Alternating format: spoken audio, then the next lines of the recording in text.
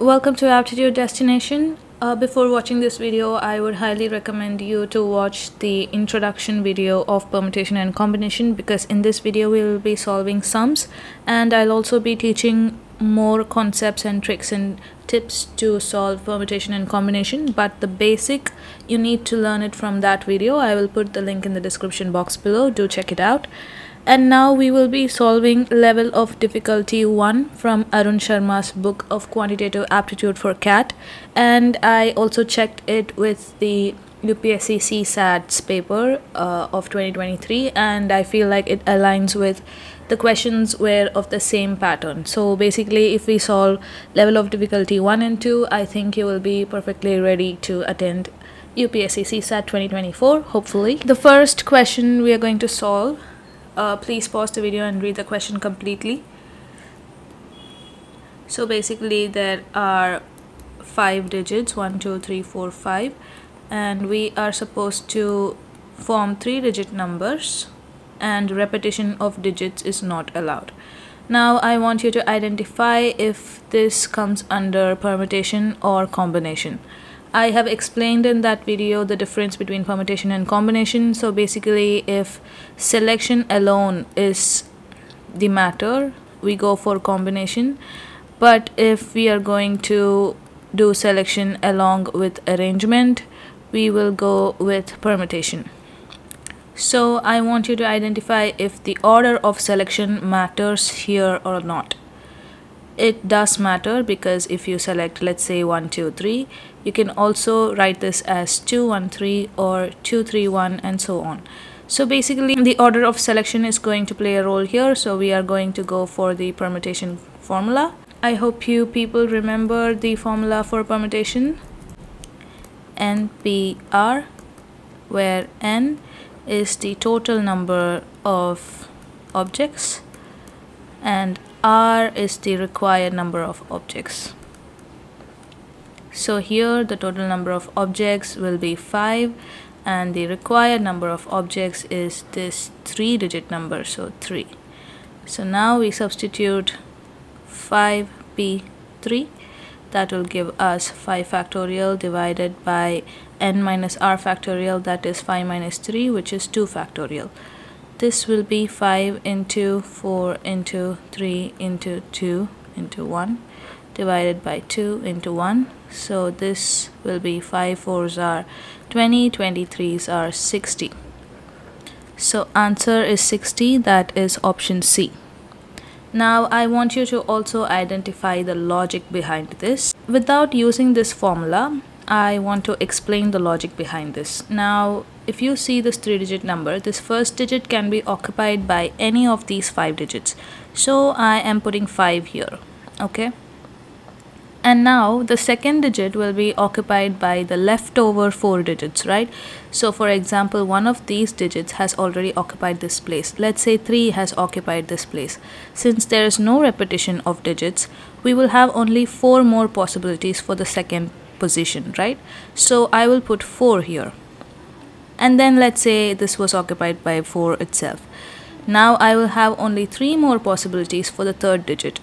So which means 4 into 3 uh, sorry 5 into 4 into 3 that is 60 so we use this 5 in, into 4 into 3 into because we know that each number can be um, clubbed with any other number. So that is why we are multiplying. So permutation has this. This is one of the logic like without this formula you can arrive at this logic. I am explaining this logic because when there is slight twists in the question it's important that you understand the logic instead of just the formulae. We'll go to the next question. Now here they have given 0 1 2 3 4 5 6 and 7 but the numbers should be between 2000 and 3000 which means the numbers can be from 2001 to 2999 since it's between 3000 won't be a part of this. So basically there are four digits and now we know the first digit is anyways is going to be 2 right? Because it's between 2000 and 3000 and 3000 is also not included therefore this digit can only be 2 so now we are not considering this part at all because it's fixed it's fixed for any values that is going to come here. So now here you should apply the logic with the numbers that is given to you. Now since there is no repetition of numbers this 2 cannot take any place in this because it has already taken the place here so basically the remaining numbers are 0 1 3 4 5 6 and 7 that is 7 numbers. So for 7 numbers n is equal to 7 and you would have identified by now that it is a permutation problem because the order of selection matters. So basically r is equal to three digits are there so 3 the formula would be as such 7p3 7 factorial divided by 7 minus 3 4 factorial. 7 into 6 into 5 into 4 factorial. You can write it this way because 4 into 3 into 2 into 1 is 4 factorial right? And 4 factorial here. So you can just cross this which will give you 6 5s are 30 30 into 7 is 210 here is option B. Now let's go to the next question. Please pause the video and read the question completely. They have given there are 8 non-collinear points which means none of them lie in a straight line. Let's just take one two three four five six seven eight. So if I want to form straight lines I would require two dots right so two points to form a straight line this way or this way or this way any such way. And if you notice the order of selection does not play a role here because I can select this one first and this one second I will get the same line. Or I can select this one first and this one second I will still get the same line. So therefore the order of selection does not play a role at all. So it is clear that we are going to use combination formula. Therefore NCR is the combination formula and we know that there are 8 non-collinear points in total which will be n is equal to 8 and there are two points that are required points to form a straight line. So r is equal to 2 now all you have to do is substitute in the formula. We know that 8c2 can be written as 8 factorial divided by r factorial will be 2 factorial and n minus r factorial is 8 minus 2 that is 6 factorial now I can write this as 8 into 7 into 6 factorial divided by 2 factorial into 6 factorial. I'll cancel these out. I'll cancel 2 and 8. So I will get 7 into 4 that is 28. So my answer is option A. Let's go to the next question. Please pause the video and read the question completely. So they have given that NC3 is equal to NC8. So now I want you to notice this, note this down like carefully because this is a proof. You won't be able to manually solve it because if you uh, solve by formula, you will get n factorial divided by 3 factorial into n minus 3 the whole factorial, which is equal to 8 factorial minus. So this is the formula that you'll get and you won't be able to solve it with cancelling and all that. So this won't work here. So that is why I'm going to introduce you to a proof that will be useful for your exams. So basically the proof goes like this. NCR is equal to NC n minus R this is nothing but let's say I'm taking I'm going to explain this with an example. So let's say I'm taking 5c2 and if I am going to substitute it here I'll get 5c n minus r that is 5 minus 2 3 so they the proof says that these two will give me an equal value. So let us check. 5c2 will give you 5 factorial divided by 2 factorial into 5 minus 2 that is 3 factorial and if you check for 5c3 you will get 5 factorial divided by 3 factorial into 5 minus 3 2 factorial. So you can clearly see that these two are equal. So this is the proof. Therefore now using this concept we are going to find out this. So if you notice here 5 this n minus this r is giving the value of this r right? So that is what that has been written here. So n r. So this value would be n minus r. Basically I'll have to just equate it here.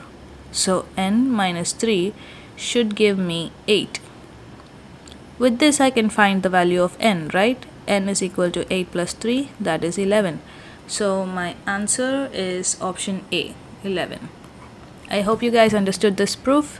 So make sure you remember this in your examinations let's go to the next question. Make sure you read the question. Uh, if nc4 is equal to 70 we are supposed to find n. So this is going to be easy because we have options that has 5 8 4 7 and 9 so if we substitute 5c4 we are going to get 5 factorial divided by 4 factorial into 1 factorial which is 5 so this is not the answer. Next we'll go for 8 8c4 will give me 8 factorial divided by 4 factorial into 4 factorial. 8 minus 4 that is 4 factorial. So this will give me 8 into 7 into 6 into 5 into 4 factorial divided by 4 factorial into 4 factorial. So I can cancel this. And now I can also write this 4 factorial as 3 into 2 into 1 where I'll be cancelling 4 2's are 8 and I'll be cancelling 3 2's are 6 now 7 5s are 35 into 2 is 70 so my answer is right for 8 therefore option B is the right answer. So the next question is 10pr is equal to 720 there are options that are given already 4 5 3 6 and 7 so we can first substitute 4 that will give us 10 factorial divided by n minus r factorial that is 6 factorial. That will be 10 into 9 into 8 into 7 so 6 factorials will get cancelled okay? So we know that uh, 9 into 8 is 72 and 72 into 10 is 720 so this 7 is extra here. Therefore this is not the option. Now which will give us the value of 10 into 9 into 8 the 7 factorial should get cancelled here. So basically I should get 7 factorial in the denominator. And how will I get that? I will get that by n minus r. That is 10 minus something should give me 7 so 10 minus 3 would give me 7 right? So that is it. Basically 3 will be our answer. You can check it by 10p3 that is 10 factorial divided by 7 factorial that will give you 10 into 9 into 8 into 7 factorial divided by 7 factorial 7 factorials will get cancelled and you will get 10 into 9 into 8 that is 720 therefore option C is your right answer. So we'll go for the next question. The next question says it's a motor vehicle re registration number of four digits so the four digits can be formed with the digits 1 2 3 4 5 and 0 so now uh, since they have said only four digits we might think 0 cannot take this place right? It is kind of common that uh, we can think that way. But then it is important that you concentrate on the question. It is given that it is for motor vehicle which means 0 taking this position does not matter. So basically you'll have to give every position every number as possibilities here. So now I have 1 2 3 4 5 6 6 possibilities. So basically the first position can be occupied by six different numbers and there is no repetition. So basically this will be occupied by five different numbers and in turn this will be occupied by four different possibilities and this can be occupied by three different possibilities. So 6 5s are 30 30 into 12 would give you 360. Therefore, your answer is option D, that is 360. The next question, they have given that there are 5 blue socks, 4 red socks and 3 green socks. And now they have said that someone has to select just 4 socks and in how many ways he can do this.